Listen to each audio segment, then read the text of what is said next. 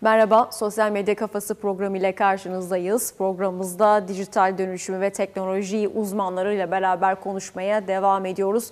Bu hafta sizlere Ulutek'ten sesleniyoruz. Ulutek, teknoloji transfer bölgesini anlatmaya çalışacağız. Türkiye'de ARGE çalışmalarında gelinen son nokta ne merak ediyoruz ve Ulutek genç girişimcilere teşvikte bulunuyor. Detayları öğreneceğiz. Şimdi konuğumuzu almaya gidiyoruz.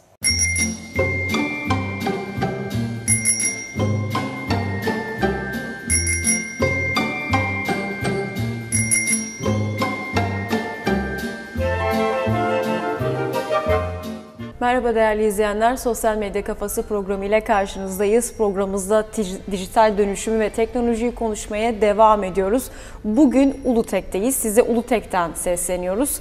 Ulutek Teknoloji Transfer Bölgesini tanıtmaya ve anlatmaya çalışacağız. Program konuğumuz e, Ulutek'in Genel Müdürü Profesör Doktor İrfan Karagöz olacaklar. Kendisi e, bugün bize hem teknoloji bağlamında ARGE çalışmalarını hem de aslında e, Ulutek'te neler yapıyoruz anlatmaya çalışacağız çalışacak ve aktarmaya çalışacak. Ee, çok teşekkür ediyoruz öncelikle hocam programımıza katıldığınız için. Biz teşekkür ediyoruz. Öncelikle e, Uludağ Üniversitesi Teknoloji Geliştirme Bölgesi'ne hoş geldiniz diyorum. Hı hı. Değerli seyircilerimizi de saygıyla selamlıyorum.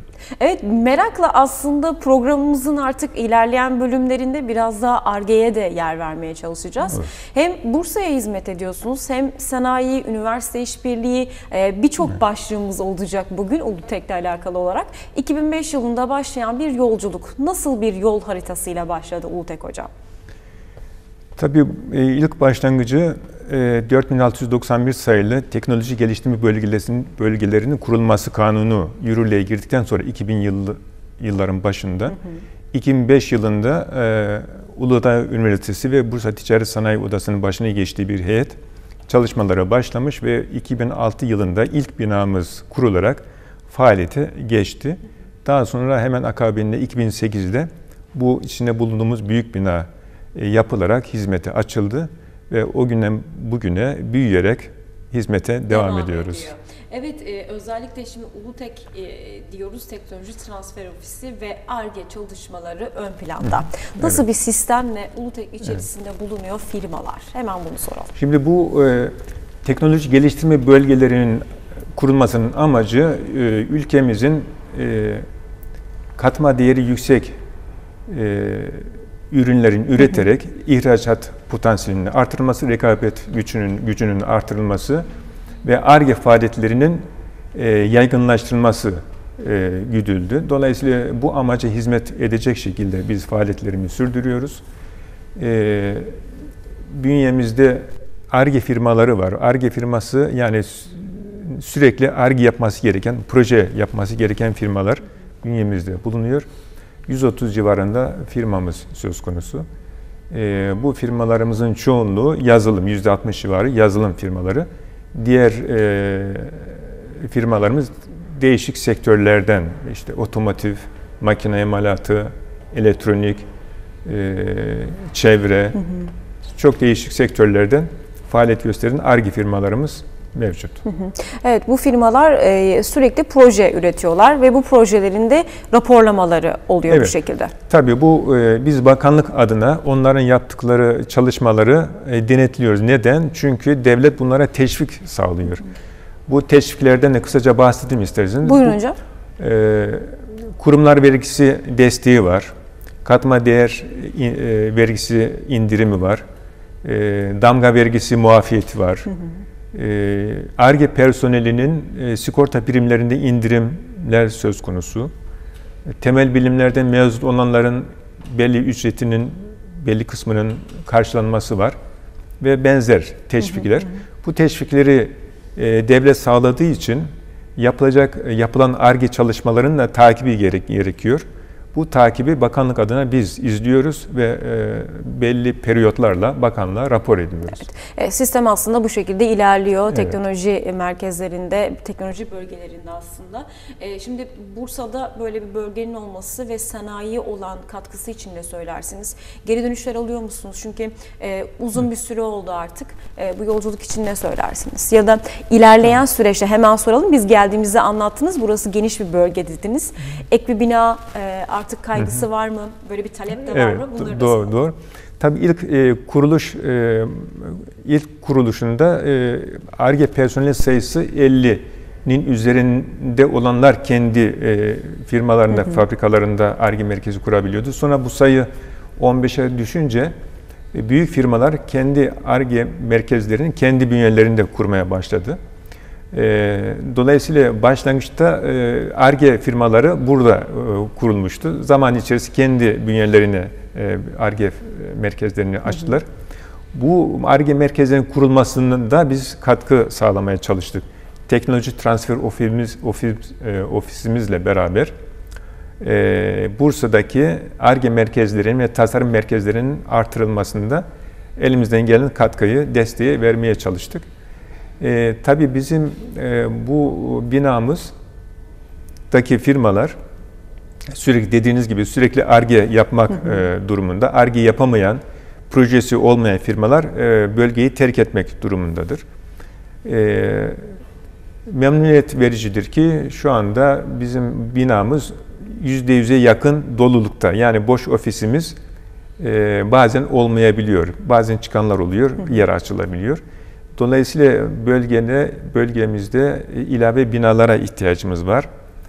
E, hatta geçen hafta e, bakanlığa da yatırım talebi diye bir e, talepte bulunduk. Bulundunuz. Bu da sevindirici bir başlık aslında. Tabii devletin kaynakları da sınırlı. Hı hı. E, fakat e, bina ihtiyacımız açık gözüküyor. Talepler var. E, talepleri karşılayamıyoruz. Yüzde yüze yakın doluluk olduğu için. E, ilave bina yapmak için değişik Bursa Ticaret Sanayi Odamızla beraber hı hı değişik yollar bulmaya çalışıyoruz. Evet. Bu burada inşallah ümit ediyoruz ki bir çözüm bulacağız. Hı hı. Hem devlet desteği hem de e, özel desteklerle beraber ilave binalar yaparak bölgemizdeki e, firma sayısını artırmaya çalışacağız. Özellikle Ulutek'in paydaşları da var. BTSO'dan bahsettiniz. BTSO da bunlardan doğru. bir tanesi. Ne, kimdir bu paydaşlar? Ulutek e, bir anonim şirket, büyük ortak %51 hissesiyle Uludağ Üniversitesi. İkinci büyük ortağımız Bursa Ticaret Sanayi Odası. Hı hı.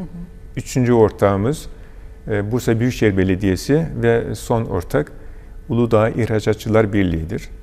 E, zaten yönetim kurulumuz da bunlardan oluşuyor. Bunların üyelerinde, elemanlarından e, oluşuyor. Dolayısıyla yol haritası çizerken bu ortaklarla beraber yönetim kurulunda tartışılıyor e, ve o şekilde yol alınıyor. Hı hı.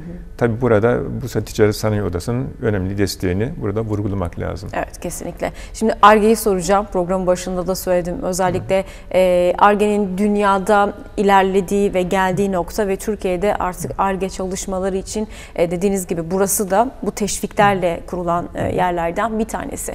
ARGE için ne söylersiniz? Şu andaki aşama ne? Ciddi anlamda bir ekosistem oluştu mu bu başlık altında hocam? E, bu ARGE konusu Türkiye'de çok geç başlamış bir konu. E, dolayısıyla e, şu anda yapılan işin niteliğini çok fazla bakmadan e, bu ARGE ekosisteminin gelişmesi, ARGE kültürü, kültürünün gelişmesi için e, bu projeler destekleniyor. Ama zaman içerisinde ya ARGE merkezi sayısı belli bir seviyeye geldi. Artık bundan sonra e, niteliğe bakılması söz konusu olacak. Dolayısıyla ARGE e, kültürü ve ekosistem belli bir aşamaya geldi Türkiye'de. E, çok kaliteli, nitelikli ARGE yapan kurumlarımız var, firmalarımız var.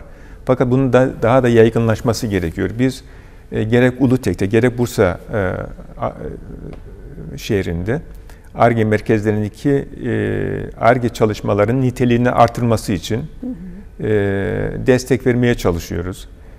Uludağ Üniversitesi'ni, Bursa Teknik Üniversitesi'ni de işin içine katarak, üniversite sanayi işbirliğini de sağlayarak ARGE e, çalışmalarının niteliğini arttırmaya e, gayret ediyoruz. E, tabii gayretler boşa olmuyor. Neticede belli bir yol alınıyor. Evet. İnşallah bu hızlanarak devam edecek ve e, Türkiye'de istenen seviyede ARGE çalışmalarının yapılması aşamasına gelinecektir. Özellikle şu soruyu sormak istiyorum hocam Evet. bu anlamda ARGE'yi konuşurken. Evet ARGE çalışmalarına e, burada sürdürmelerini istiyorsunuz firmaların.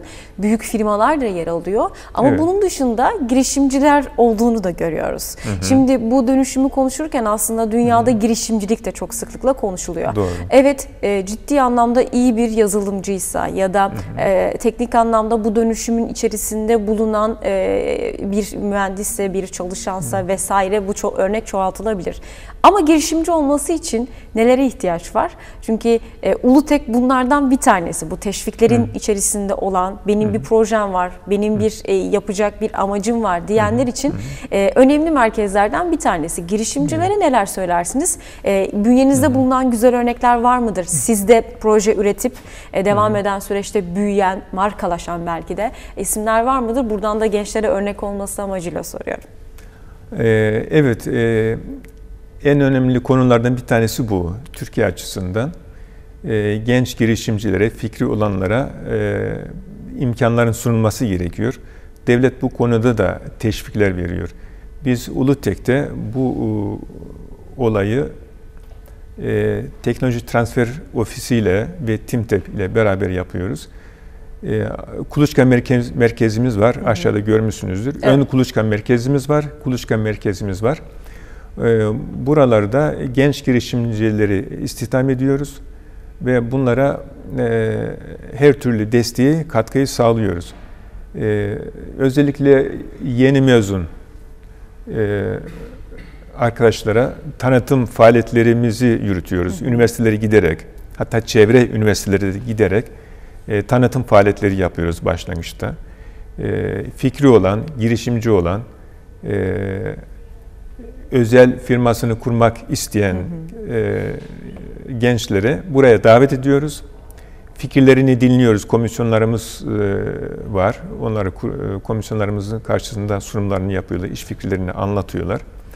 Eğer e, eksikleri varsa onların giderilmesi, e, uygunsa fikrinin e, fikri uygunsa onların elinden tutuyoruz tabiri caizse. Evet. Bizim kuluçka, ön kuluçkayı alıyoruz. Orada e, mentörlerimiz var. Yani yol göstericilerimiz var. Onların e, desteğiyle her türlü desteği sağlıyoruz. Gerek bilimsel gerek mali konularda e, şirket kurma konularında desteklerimizi anlatıyoruz ve onların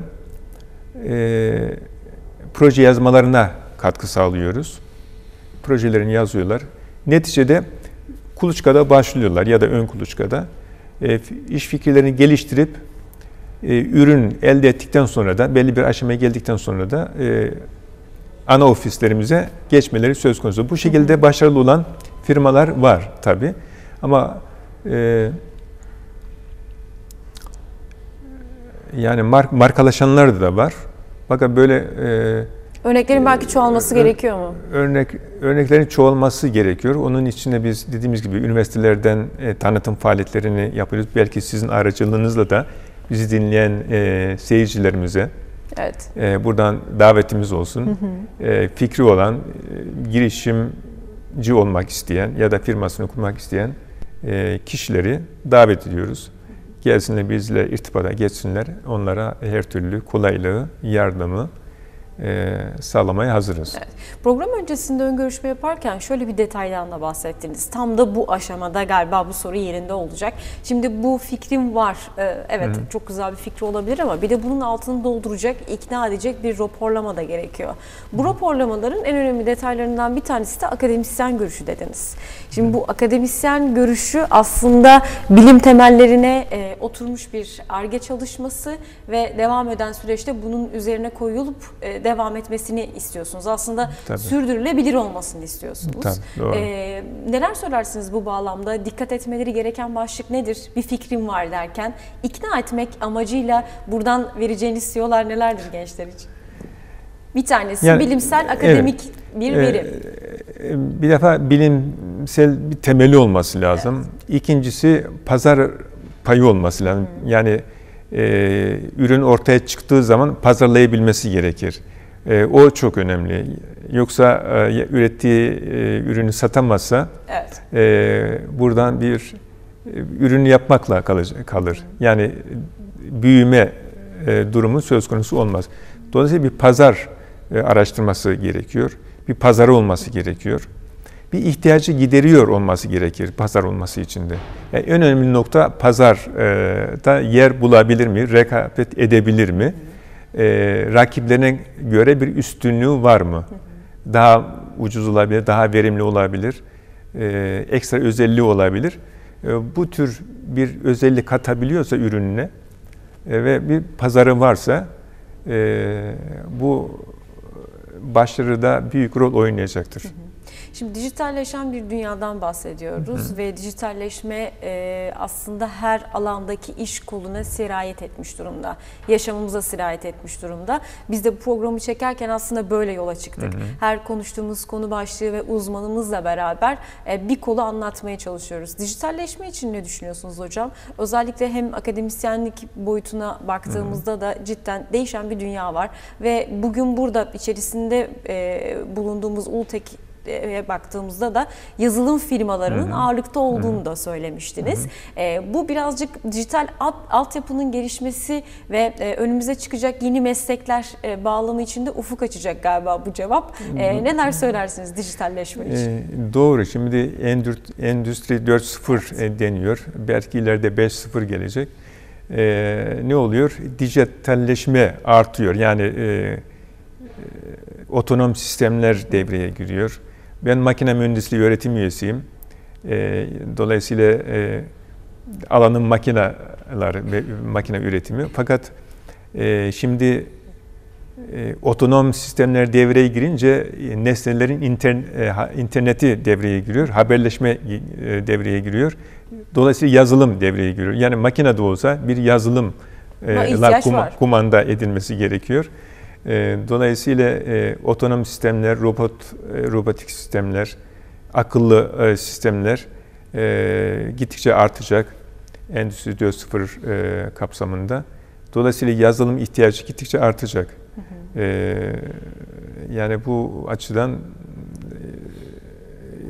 bünyemizdeki firmaların da çoğunluğu zaten yazılım firması. Bu tür mesleğe eğilim olanlar bu konuda bu yolda bu, bu yolda devam etsinler ilerleyebilirler. Ee, şimdi bu konular konuşulurken aslında e, genç mühendisler, genç mucitler, genç yetenekler bir fikrim var diyenler. Bir de biliyoruz ki e, devam eden e, firmalar ve markalar var Türkiye'de hı hı. ve bunun içinde e, yetişen ve yetişecek olan e, genç bireyler ve e, adım atacak iş dünyasına belki akademisyenler de var. Şimdi X ve Y kuşağını soracağım size. Şimdi bu kuşak farklılığını aslında hem mühendislerde hem akademisyenlerde hem çalışan dünyada ve bu ARGE çalışmaları içerisindeki o farkı görebiliyor muyuz ya da görecek miyiz? Ciddi anlamda e, dijitalleşen dünyaya doğan bebekler var. E, tabletlerle, Tabii. telefonlarla doğan ve ilerleyen bir dünya var. Bir evet. akademisyen gözüyle bunu nasıl değerlendirirsiniz? E, doğru. Şimdi e, yeni kuşak e, biraz farklı bizim alıştığımız e, e, gençlerden farklı bir gençlik e, geliyor. E, yeni teknolojiye çok kolay adapte olabiliyor. Çok farklı düşünebiliyor. Dolayısıyla e, bu bu konu alanda gelişmeyi hızlandıracaktır. Yani böyle bir katkısı olacaktır. E, zaten e, haberleşmeye çok kolay bir şekilde dünyanın herhangi bir yerine ulaşmak mümkün oluyor. E, dolayısıyla Z kuşağından evet. ümitliyiz. Evet. Yani çok farklı e, adapte oluyor, çok hızlı gelişme gösterebiliyor. E, bu da gelişimi hızlandıracaktır. Yani Endüstri 4.0 e, geleceği devam ederken hmm. arkadan gelen kuşak zaten buna hazır olarak e, gelmiş diyebiliriz. Evet doğru. Bunu da söyleyelim. Doğru. E, Endüstri 4.0 için ne söylersiniz? Evet ARGE çalışmalarını konuştuk bugün. Bunu Hı-hı. da sormak istiyorum özellikle. E, hem akademisyen kimliğinizde hem de aslında e, Türkiye'deki ARGE çalışmalarının gittiği noktayı söylediniz. E, biraz geç kaldı dediniz e, doğal olarak. E, oluşturulan kuluçka merkezleri hem firmasal, markasal olarak ayrılan bütçeler birçok başlığımız var. E, Endüstri 4.0'ı nasıl değerlendirirsiniz? E, ciddi anlamda aslında Endüstri 4.0'a Türkiye'nin geçiş, geçiş aşamasında ne kadarlık bir süre ihtiyacı var? Ee, Türkiye'de yatırım yapan büyük firmalar bunu kullanmaya başladı diyebiliriz. Do- doğru. Birçok marka var. Genel doğru. bir değerlendirme de almak isteriz. Doğru yani e, Türkiye'de e, Endüstri 4.0 ile ilgili e, belli bir aşamaya gelen firmalar var. E, bu gittikçe yaygınlaşacak. Bundan kaçış yok. E, Evet. bütün firmalar bunu dikkate alması gerekiyor. Aksi halde e, geri kalacak yani yarıştan kop- kopacaktır. E, ben ümit ediyorum çok kısa sürede e, istenen seviye e, firmaların çoğunluğu gelecektir. E, devamında da Endüstri 5.0 hazır hale gelecektir. Kapıda zaten Endüstri Kapı- 5.0 şeklinde kapı- aslında ama belki söyleyebiliriz yani. Evet. Ee, Ona da hazır hale gelecektir diye düşünüyorum. Bunu da söyleyelim. Evet. Şimdi toparlamak istiyorum ve Ultek'le ilgili mesajlarınızı da almak istiyorum program içerisinde. E, Bugün birçok başlığı konuşmuş olduk sizinle. Çünkü Ultek'i konuşurken aslında teknoloji transfer ofislerini konuşurken içerisinde bu işi geliştirecek e, yaratıcılar, e, ARGE çalışmalarını aslında e, finanse eden firmalar birçok başlık var bu konuyla alakalı. Ulutek'in geleceği için ne söylersiniz? E, çünkü Türkiye özelinde devlet teşvikli, özellikle ARGE'nin ne kadar önemli olduğunu bir kez daha görmüş oluyoruz bu tek- teknoloji transfer ofisleriyle beraber. E, genel bir değerlendirme de almak isteriz. Ee, evet şimdi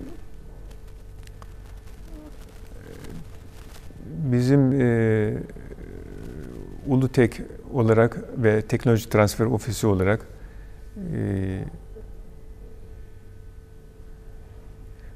Aslında ön- amacına ön- ulaşıyor mu hocam e, özetlersek? Yani amacına ulaştığını görebiliyor Tabii. musunuz siz yapılan raporlamalarda? Şimdi e, e, iyiliğin sonu yok, iyinin sonu yok. Sürekli gelişme, sürekli iyileştirme söz konusu. E, biz bu yolda çalışmaya devam ediyoruz. Yani e, dediğimiz gibi yeni binalara ihtiyacımız var. Fakat biz e, nitelikli ARGE yapılması için e, katma değeri yüksek ürünlerin üretilmesi için, ihracatın artırılması için e, ve rekabet gücünün artırılması için bütün firmalarımıza, Ulutek'teki firmalarımıza e, her türlü desteği veriyoruz.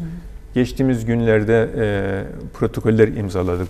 Bursa'daki 17 OSB ile e, işbirliği protokolleri imzaladık. E, dolayısıyla mevcut imkanlarımızı OSB'deki firmalara da açmış olduk. Onların da her türlü teknik sıkıntıları olabilir, e, başka problemleri olabilir. Onların çözümünde elimizden e, gelen katkıyı, desteği vermekle alakalı bir protokollerdi bunlar. Dolayısıyla bu hizmeti biz e, tüm Bursa'daki firmalara da e, açmış olduk. E, genç girişimcileri bekliyoruz. Fikri olanları bekliyoruz. E, bize başvursunlar. E, onların önünü, yolunu açmaya gayret edeceğiz. Çalışıyoruz, E, çalışmaya devam yapacağız. diyorsunuz. Çok teşekkür ediyorum programımıza katıldığınız için. Çünkü bu programda özellikle medyanın dijital dönüşümüyle beraber hem televizyonda hem sosyal medyada yayınlanmak üzere e, çekiliyor ve teknolojiyi konuşuyoruz. Çok sağ olun bizi kabul ettiğiniz için. Ben çok teşekkür ediyorum. E, bu tanıtıma katkı sağladığınız, bizi tanıttığınız için e, teşekkür ediyorum. Sağ olun. Çok sağ olun hocam. Noktalıyoruz bu haftayı. Görüşmek üzere haftaya. İyi günler. Robotumuzun adı Ulutek. Bugün size seslendiğimiz ofis Ulutek'in Ben Maker ofisi oldu. Bu detayı da geçelim. Programı kapatıyoruz bu haftalık. Dijital dönüşümü konuşmaya devam edeceğiz bu yolculukta. Hoşçakalın.